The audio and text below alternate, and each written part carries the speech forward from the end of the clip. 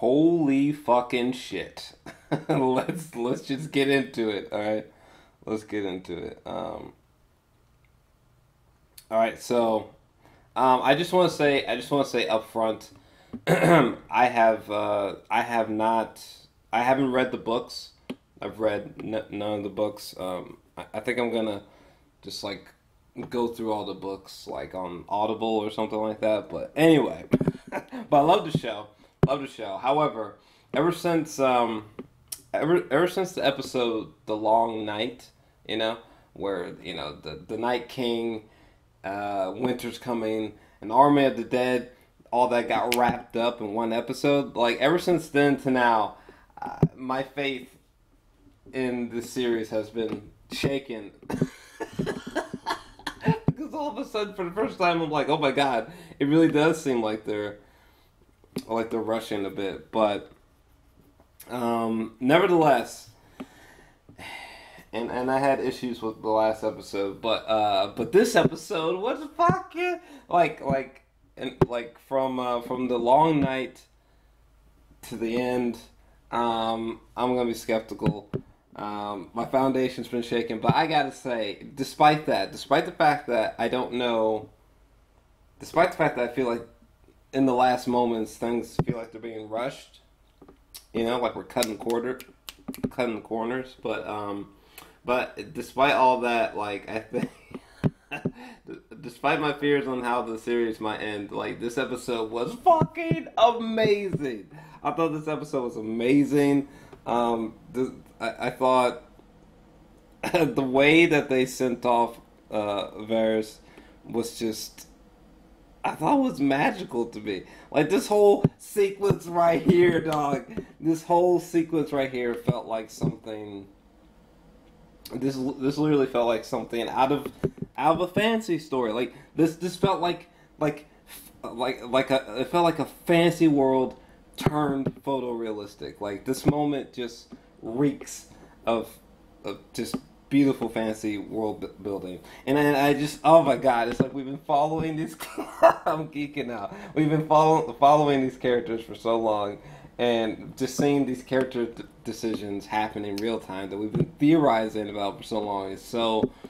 Oh, but uh, like in this moment where he's trying to tell him that he's like the one true king. You know what I'm saying? Um, and he, he's trying, and Varys is trying to put together like a, a sensible plan going forward. And Jon Snow's like, "No, she's our queen.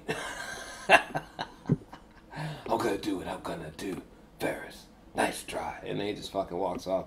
Um, there was like a, a, little moment where like he was like, like his eye twitched, and uh, just just the acting was just it's just pretty pretty wonderful.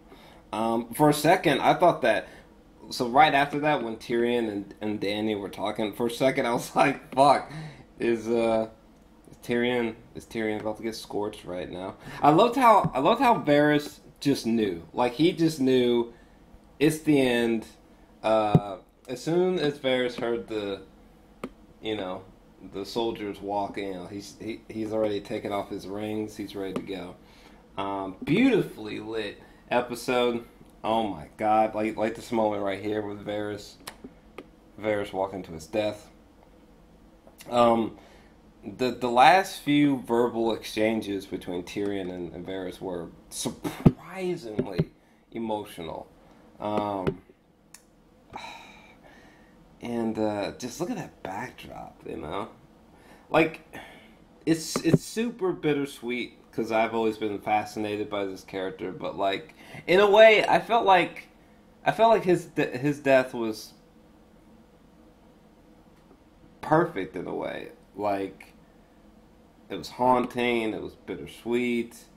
It was fitting. Um, and kind of like the last thing he sees is like an act of magic. You know, this dragon just fucking lights him up. Uh, and I love the framing of that. I love the moment where you know, Dany.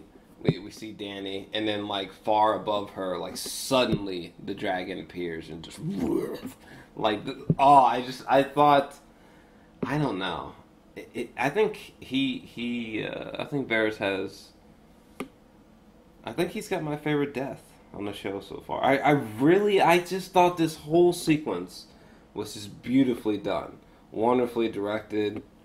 Um, I love what they're doing with the camera here, so that like when it's down and looking up at Varys, it's like we're seeing Tyrion's viewpoint. You know, um, I don't know. I just thought that his death was really darkly, darkly beautiful. I suppose, but um, yeah, I was really touched by that. Holy shit. Uh, we get another session of fucking Dany and Jon Snow making out, and Jon being like, "No, you're you're fine as hell, but your family, fucking ah, I did did uh, Jesus Christ." Oh yeah, and then and then fucking da- Daenerys or Dany, she's just like, you know what, fuck it, we're going in there, ball swinging tomorrow. We're fucking killing everything. fucking King's King's Landing got completely shit on. I'm talking, boy. King's Landing got fucking annihilated. Oh yeah, I love uh, this. Is, what the fuck? What the fuck? I'm, I'm nerding out, but it's so wild to think that this was the last ever exchange between Jaime and Tyrion. You know, um, this this sequence with Tyrion just like pleading, uh, pleading with Jaime to change his mind, try to survive, get out of there. Damn um, just uh, just their last moments were just like, I don't know if I'm ready for all this. Like everything, everything that I wanted the long night to be, uh, this was. this episode was fucking insane. Oh my goodness, fucking insane. Wow. Uh, I'm gonna keep moving here.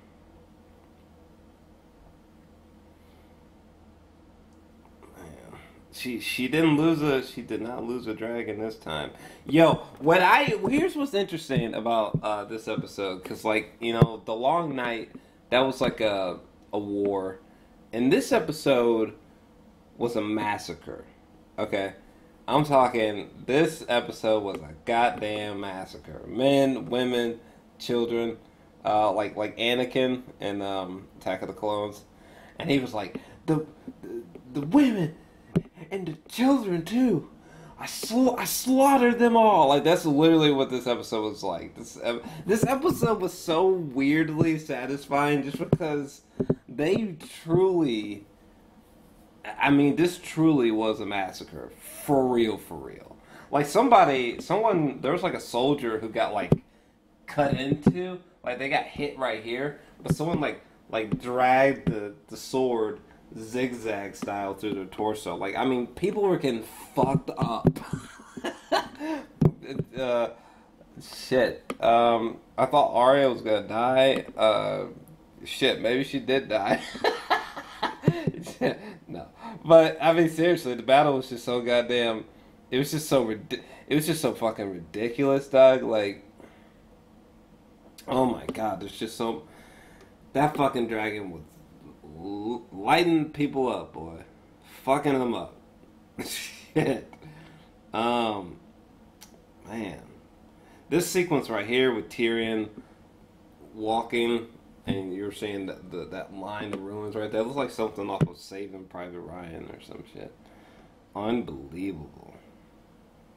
Um, and what's interesting is like the the bell gets rung, don't matter.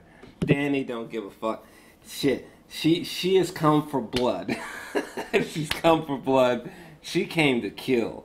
Like I, I already knew after the last episode, she didn't she didn't care. She didn't care if they were gonna surrender. Like she came to fucking murder them. And for some reason, deep down in my soul, that made me happy. but uh, it uh, and, and Jon Jon is looking all surprised and like looking shook and shit. It's like, yeah, yeah, what, yeah, what, what'd you think was gonna happen, Jon? What, what do you think was gonna happen? What you, what you looking su- surprised for?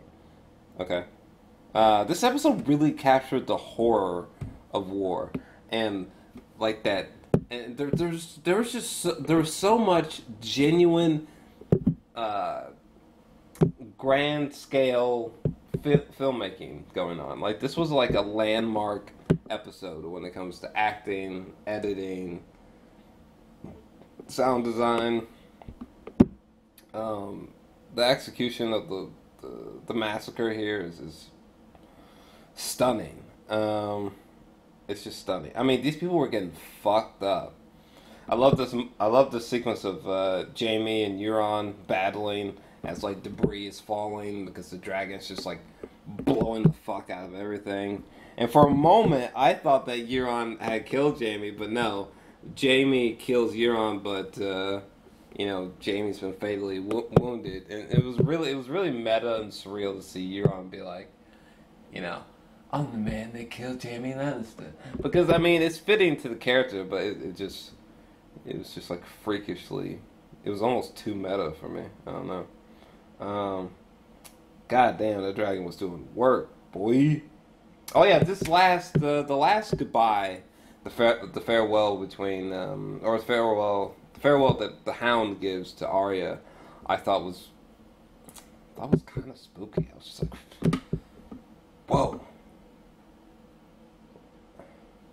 I, I it, when when they de- departed for the last time, I was like, damn, we are truly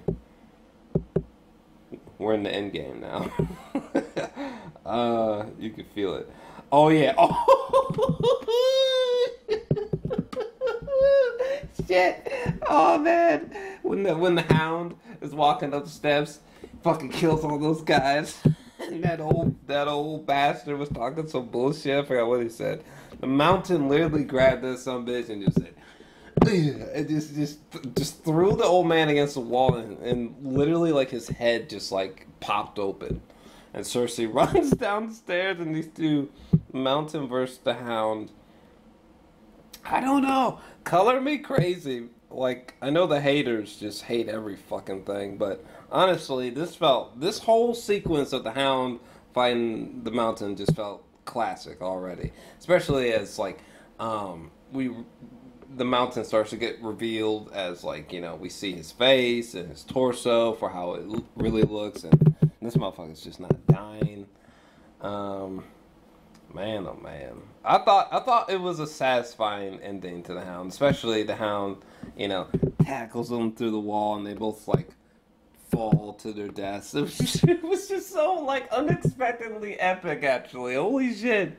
It was actually kind of kind of perfect actually um, I'm just glad that he didn't die like a fucking coward. Like he, he had this weird cowardly moment in the long night, and I was like, "What's that about?" But um, because it just felt. Uh, so what is that about? Uh, finally, seeing uh, Cersei's barrier broken down was immensely satisfying. But I gotta say, the sequence where uh, Jaime and uh, and Cersei see each other again, and fucking um, and Cersei is like terrified, and and they're like trapped down there, and she's she's borderline like begging for her life. She's so terrified that she's about to die, and these motherfuckers, they they get buried alive and they die in each other's arms. Like even just saying that sounds poetic and epic. I must say. Fucking hell. Whoa. Whoa, that was surreal. Because this whole time I'm thinking, like, one's gonna kill the other, you know what I'm saying? But, uh, wow. Crazy. Fucking crazy. And the, the last moments with, uh, the, the last moments with Arya legitimately felt like something I don't know. It felt like a fantasy version of 9/11. I mean, just smoke in the air. Uh, the, Arya's bloodstained, covered in ash and, and debris powder, and fucking people are literally just getting massacred around her. like Dany is just in pure kill mode. She's killing everybody and everything. Alright, she don't give a fuck. Um, that one moment with with uh, Gray Grey Worm and um, Jon was fascinating. Where like the only thing that was on Grey Worm's mind was just murder, um, and Jon's just like, um, yeah. The the last few moments here with Arya are pretty, pretty, just pretty spooky, man. Like when like when she sees this blood soaked horse and just rides off on it. I was just like, fuck. Fucking Arya Stark, bitches. Shit. Damn. Damn. Shit. One of the baddest bitches out here. Arya Stark. Um. She, she fucking rides off in the ghostly ruins charred ruins of King's Landing. That's the that's the backdrop. Um, yeah, this this episode was uh, fuck me. Honestly, I'm feeling a ten out of ten at the current time. Um, again, I realize that the the people who hate the show at this point are just gonna they're just gonna complain about every goddamn thing. But honestly, uh, this episode melted my brain. Okay. like, what about you?